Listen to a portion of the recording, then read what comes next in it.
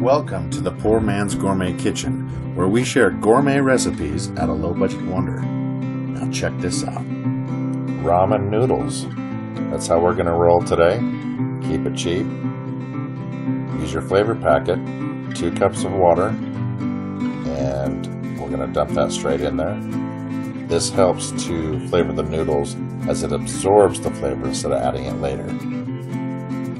But we don't need the full two cups, and we need a little bit of it set aside for the sauce when we saute the vegetables and noodles all together. So we're going to scoop out about four ounces of sauce, set that aside. Going to add some sugar. Also, your choice of either hoisin or oyster sauce. Either one's fine, but they both provide a completely different flavor, so go with which one you like the best. Add the noodles, and we're only going to cook them till al dente. That means not all the way. This is critical because we're going to cook the noodles when we stir fry the vegetables, so we don't want them to get sticky from being overcooked. Just give them a quick strain, no big deal. Put them back in your pan, set them aside, and get ready for the next stage, okay?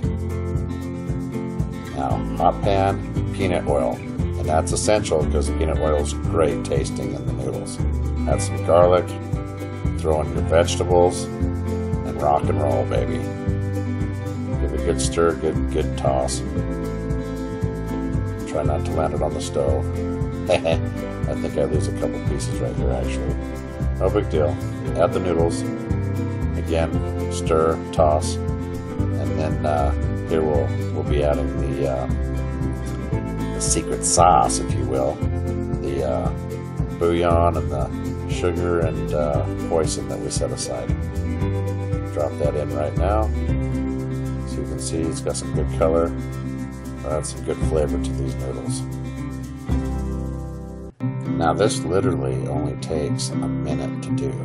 Incorporate all that sauce into this noodle. As soon as you see that it's even, get it out before it gets sticky. That's it, that's all, and you'll be ready to serve. And remember, it's just noodles, so you don't have to get too intricate with it. Just slop it on your plate and get ready to have a feast. There you have it. Chow mein or lo mein, whatever you want to call it, right here in the Poor Man's Gourmet Kitchen.